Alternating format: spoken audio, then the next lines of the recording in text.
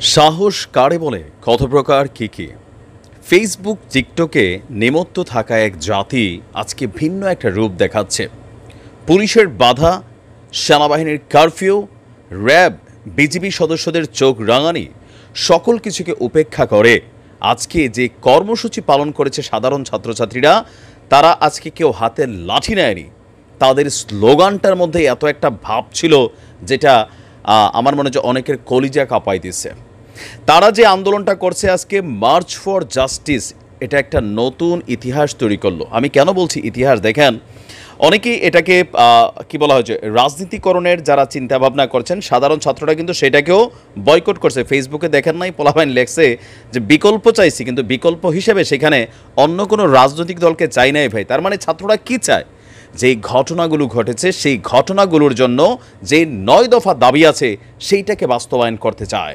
কারণ যে মায়েদের বুকগুলা খালি হয়ে গেছে, তাদের সঠিক বিচারটা তাদের কাছে পৌঁছে দিতে চায়। দর্শক, কোটা আন্দোলনকে ঘিরে হতাহতের ঘটনায় বিচারের দাবিতে আজকে কয়েক জেলায় মার্চ ফর জাস্টিস কর্মসূচিতে বিপুল সংখ্যক ছাত্রছাত্রীদের অংশগ্রহণ দেখেছেন। আর বরাবরেরই মতো আমরা দেখেছি পুলিশের কিছু অতি উৎসাহী কর্মকর্তা।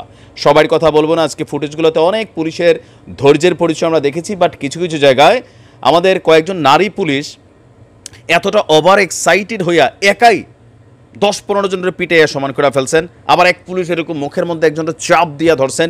এইসব দৃশ্যই সাধারণ ছাত্রছাত্রীদেরকে, সাধারণ মানুষদেরকে প্রভাবিত করে ভেতরে থাকা ক্ষোভ উগ্রেদের কারণ এই যে বর্তমানে রেড ব্লক নামে যেই কাহিনীটা চলছে, এইটা কেউ অ্যাকসেপ্ট করতেছে না। রাতের বেলা কেউ নিশ্চিন্তে ঘরে ঘুমাইতে পারে না। কখন জানি দরজায় ঠক ঠক আওয়াজ হয়।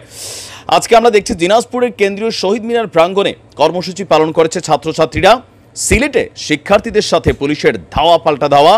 চট্টগ্রামে শিক্ষার্থীদের সাথে একাত্মতা জানিয়ে কর্মসূচি পালন করেছে আইনজীবীরা। আদালত প্রাঙ্গণে জড়ো হয়েছিল শিক্ষার্থীরা।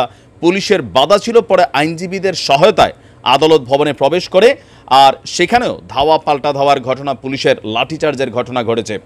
ময়মনসিংহেও মার্চ ফর জাস্টিস কর্মসূচি আপনার বড় আকারেই পালন করছে ছাত্রছাত্রীরা।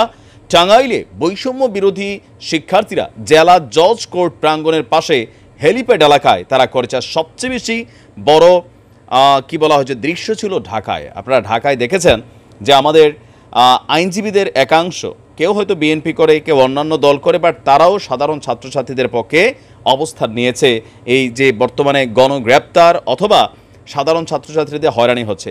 এর পাশাপাশি আমরা দেখেছি, সারা বাংলাদেশের অধিকাংশ ইউনিভার্সিটিগুলোতে পাবলিক বা প্রাইভেট শিক্ষকরা সামনে এসেছেন।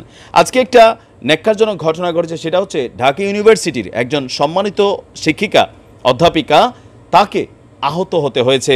তিনি মনের ক্ষোভ প্রকাশ করেছেন আর এই সকল পরিস্থিতিকে দেখে আমজনতা সাধারণ তারকা সবাই কিন্তু এই বিষয়গুলো নিয়ে এই যে আজকে ইন্টারনেট ফেসবুক চালু হবার পরপরই দুর্ভাগ্যজনকভাবে আবারও বিপদে পড়তে হচ্ছে সরকারকে। কারণ আজকের এই ফুটেজগুলো চলে আসছে গণমাধ্যমের মাধ্যমে।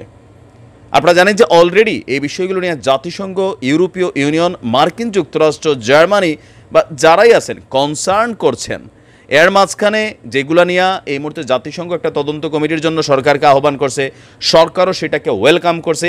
এই সকল কিছুর মধ্যেই আজকেও বেশ কিছু পুলিশ কর্মকর্তার অতি উৎসাহী ভূমিকার ভিডিও ফুটেজগুলা আরও বড় ঝামেলা পাকাবে। অপরদিকে ডিবির পদ থেকে হারুন ভাইকে সরিয়ে দেওয়া হয়েছে, যারা খুব খুশি হচ্ছেন, খুশির কারণ নয় তিনি আরও বড় জায়গায় দায়িত্ব পাইছেন। ক্রাইম অ্যান্ড যে অপারেশন নামক যে সেক্টরটা আছে।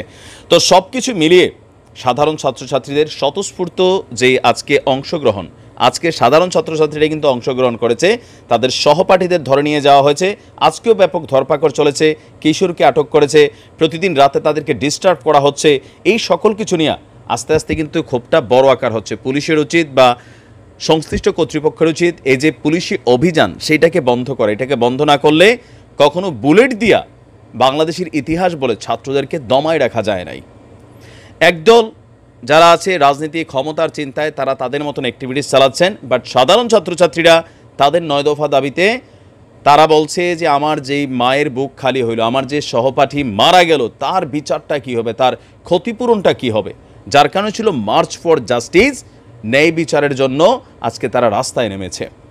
আমরা আমাদের পুলিশ ভাইদেরকে বলব, বাংলাদেশের বিভিন্ন জায়গায় যথেষ্ট ধৈর্যের সহিত অনেক পুলিশরা দায়িত্ব পালন করেছেন, আপনারা তাদেরকে অনুসরণ করুন যে কীভাবে এগুলোকে ম্যানেজ করতে হাতে লাঠি আছে মাইরা দিলেন টিয়ার সেল মাইরা দিলেন রাবার বুলেট মাইরা দিলেন, এগুলোতে হিতে বিপরীত হয়। একটু বুঝছেন পাবলিক পালস হ্যাঁ? আমরা আশা করব সাধারণ ছাত্রছাত্রীরা যারা আছে, তারা একটা জিনিস ফোকাস রাখবে, তাদের ভিতরে যেন কোনো সহিংসতাকারী, কোনো পলিটিক্যাল ক্যারেক্টার যেন ঢুকতে না পারে। কোনো পলিটিক্যাল ক্যারেক্টারদের কোনো কথায় তারাও যেন প্রভাবান্বিত না হয়, তাহলে আন্দোলনটা যেই পথে যাচ্ছে, তারা যেটা দাবি করছে, এটা কিন্তু আদায় হবে না। দেখা যাক কি হয়। ভালো থাকুন, আসসালামু আলাইকুম।